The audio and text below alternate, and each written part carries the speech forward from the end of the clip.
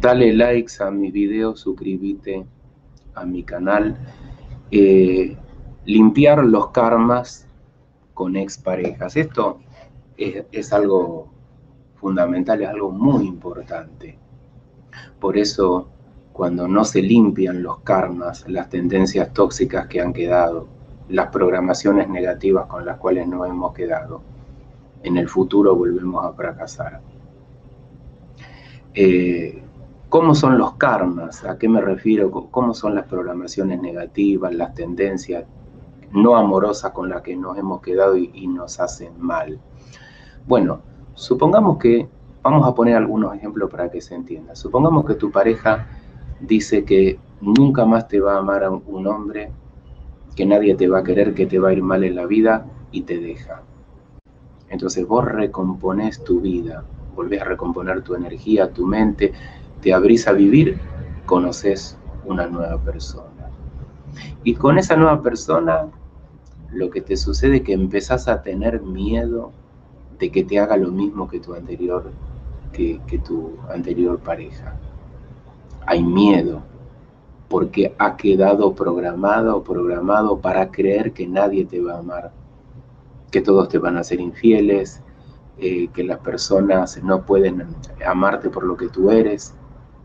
Entonces todo, todo eso que te ha dicho tu expareja, por ejemplo, puede quedar grabado en tu mente. Entonces, en lo profundo de ti, entonces se va a activar el miedo frente a una nueva pareja, los temores, los pensamientos irracionales. Rodrigo, eh, a ver, estoy intentando eh, todo el tiempo controlar a esta persona porque siento que me va a ser infiel, pero no es infiel, es mi cabeza, es tu cabeza, es tu energía, es tu programación y esa programación se te ha instalado en la última relación tuya, donde ese hombre o esa mujer te ha hecho eh, daño, daño emocional, daño psicológico, daño energético, te abandonó, eh, te traicionó, entonces tú no has podido lograr la paz, sino que tú sigues quizás sintiéndote culpable quizás sigues sintiéndote culpable de que una relación no funcionó porque este hombre o esta mujer te dijo tú eres culpable.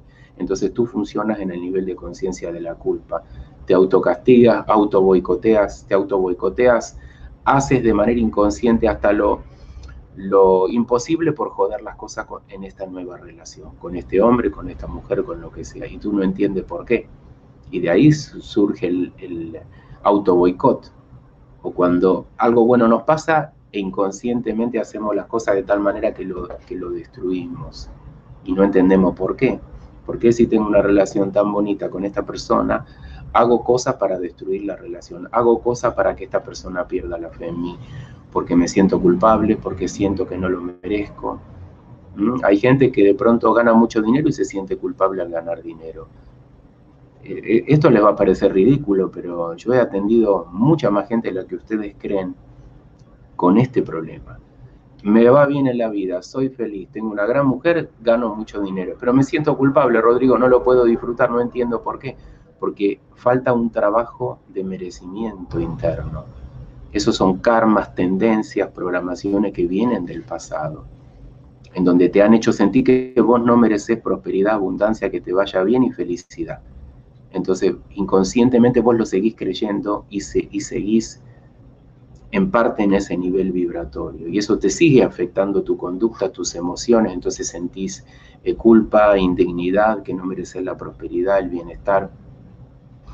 Si tú has herido a tu expareja y no hay una transformación en ti, vas a seguir eh, estando en ese mismo nivel de conciencia y probablemente hieras a tu siguiente pareja. Y, por supuesto que esto no te está haciendo bien a ti como hombre, como mujer, como persona, como ser humano.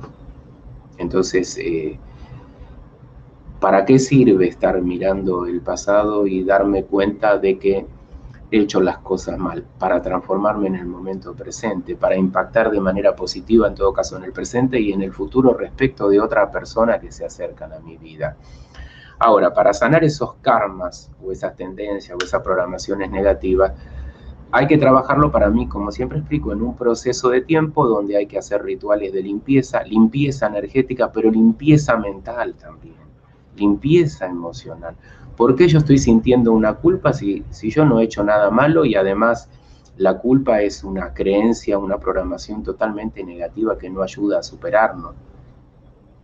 Pero supongamos, ¿por qué me siento yo culpable? ¿Por qué me siento responsable de, de todas las cosas malas que pasaron y por lo tanto, si me siento culpable, inconscientemente me busco un castigo o me auto boicoteo o me deprimo o caigo en una situación de tristeza? Porque algo ha sucedido en el pasado quizá con mi expareja, con mis exparejas. Quizá ha hecho mucho daño y hoy experimento culpa. Entonces miro el pasado, me miro a mí mismo, observo lo que pasa y hay que limpiar el campo energético, los chakras, los cuerpos energéticos, pero la mente y las emociones en todo caso para limpiar esas malas tendencias. Porque si tú quedas con la tendencia de la culpa, eh, esa tendencia va a estar hasta que vos madures, abras la mente y amándote a ti mismo disuelvas eso. Entonces, los rituales dentro de un proceso de sanación pueden ser muy efectivos. Rituales o visualizaciones como cortar el cordón energético con el ex, como a través de una visualización pedirle perdón al ex. Eh, trabajo enfocado más bien psicológico y emocional para darnos cuenta, a ver, ok, cometí todos estos errores, ¿cómo trabajo en mí? en mi autoestima, en mis temores, en mis miedos, porque mi anterior pareja la volví loca o lo volví loco controlándolo. Y esos son mis miedos, mis inseguridades. Entonces, ¿cómo, cómo lo trabajo en mí? Entonces, esto requiere un, a ver, primero un entendimiento de que es un proceso de sanación lo que uno tiene que hacer. Hace un tiempo atendí a una mujer que dice, eh, ningún hombre me ha herido, pero casi con 40 años no tuve ninguna relación duradera con ningún hombre. Me doy cuenta que he ido escapando de un compromiso mayor, de quizá formar una familia, tener un hijo, porque es un mundo jodido, un mundo cruel. Bueno, el mundo puede ser muchas cosas, ¿no? Según como uno lo proyecte. Pero está claro que la vida no es una cosa fácil. Vivir eh, puede ser muy difícil y muy jodido, ¿no? En algunos momentos. Pero por algo estamos en este mundo, ¿no? Una cosa es que vos digas, mire, yo no quiero ninguna relación profunda con un hombre o con una mujer porque mi vocación, mi camino está acá. Eh, en vez de ser eh, no sé, la madre de un hijo, quiero actuar como una madre o como una maestra, como una profesora de yoga, de meditación, y, ser un poco la madre de, muchas personas, o el padre de muchas personas, me parece muy bien, me parece fantástico, pero si solo vos llegás a eso porque estás huyendo del compromiso, y el compromiso significa levantarte con una persona, elegirla todos los días y entender cuál es la luz y la oscuridad de esa persona entender, ese es el verdadero amor, entender las debilidades que tiene la persona, trabajar para ayudar a la persona, así como la otra persona, ¿no? Hombre o mujer, te ayuda a ti a elevarte como mujer, como hombre, y conoce tu, tu oscuridad, conoce tu sombra, ¿no? No hay nada malo en eso. y, y te ayuda, en ese proceso de sanación, donde vos te volvés más sutil y te das cuenta de las cosas tontas que has podido hacer, como hemos hecho todos los seres humanos, de las cosas egoístas que hemos hecho en esta vida y en, y en, y en las vidas eh, y en las vidas anteriores. Entonces traemos todas esas tendencias que hay que disolver con amor. Ahora, si uno dice, bueno, doy vuelta a la página, ya está. Entonces, no hay nada que aprender, no hay nada que sanar, no hay nada de, lo cual desprogramarte. Probablemente vuelvas a, caer en, en, repeticiones que no te hacen bien. Siempre hay algo para sanar cuando uno termina una relación. Siempre hay, por lo menos lo que yo veo, ¿no? Siempre hay que alguna programación, algún sesgo de, conocimiento. Eh, hay heridas emocionales por curar y de pronto supongamos que usted sanó todo eso, bueno, va a tener la fuerza para ayudar a, las personas que se acerquen a su vida de alguna manera en su nivel de conciencia para que trasciendan eh, esas oscuridades o esas programaciones negativas. Mejore su karma entonces mejorando el karma del otro, en definitiva mejora el de uno. Uno genera mejores tendencias, tendencias más amorosas en, eh, en la vida. Entonces, la ruptura amorosa hay que trabajarla como un proceso de sanación, donde uno tiene que aprender a perdonar, porque si tú no perdonas a tu ex o tú no te perdonas a ti mismo o a ti misma por haber herido a tu ex o haberle hecho algún tipo de daño, no vas a evolucionar, no te vas a elevar como persona, no te vas a elevar como ser humano. Y mucho del daño que hacemos, o, creo que todo el daño que hacemos los seres humanos, lo hacemos por ignorancia, no por maldad, porque todos somos luz, todos somos en todo caso hijos del universo, de Dios, eh, somos energía amorosa, qué sé yo, le puede decir de, muchas maneras, ¿no? Son todas palabras y nada más, pero digamos lo que voy es que somos divinos y sin embargo perdemos de vista eso y herimos a la persona que más amamos en un tiempo, en un tiempo del pasado, supongamos, herimos a la persona que más amamos. ¿Cómo es posible que a la persona que supuestamente más amamos es a la que más herimos? Y nosotros que no tenemos que cuidar, no, nos conectamos con la parte más oscura, nos tenemos que cuidar, no tenemos que amar, nos conectamos con la parte más oscura de uno mismo. Entonces es esa ignorancia. Pero para salir de la ignorancia se necesita trabajar en un proceso sobre uno mismo.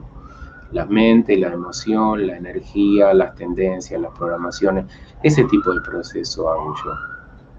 Eh, entonces, eh, y no crean que yo llego a todo esto porque sí o porque nunca me ha pasado nada en la vida o porque nunca me he equivocado.